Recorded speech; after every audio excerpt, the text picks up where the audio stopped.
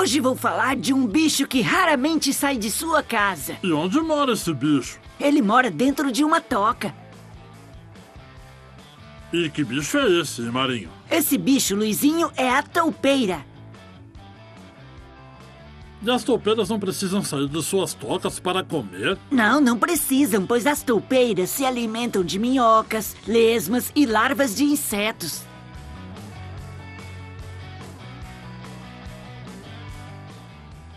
E como esses alimentos chegam para elas? Pelas paredes, chão e teto de suas tocas. Sabia, Luizinho, que as toupeiras guardam seus alimentos em estoques? E como é que elas fazem isso? As toupeiras mordem e tiram a cabeça do bicho, paralisando-o. E como ele não morre, não apodrece.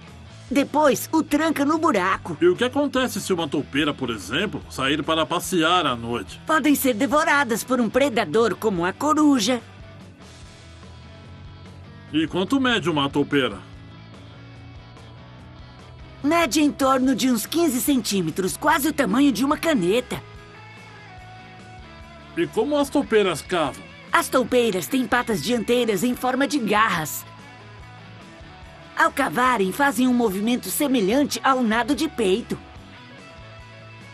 E qual é o tamanho da toca de uma toupeira? É do tamanho de uma bola de futebol.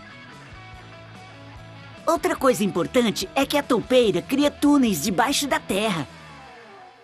E conforme vai construindo esses túneis, vai se alimentando. Toupeiras são parecidas com formigas, tendo a toupeira rainha, as operárias e as soldados. É isso aí. O que acontece se uma cobra entrar nesses túneis?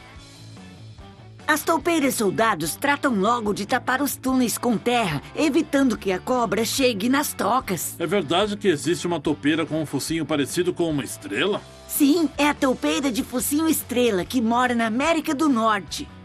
Bem, amiguinhos, se gostaram, dê um like nesse vídeo e se inscreva no canal.